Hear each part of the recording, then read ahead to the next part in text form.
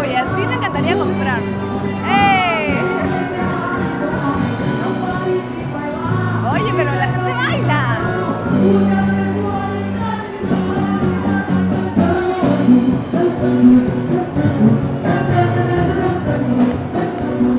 Aquí el mercado es el punto de encuentro de la ciudad.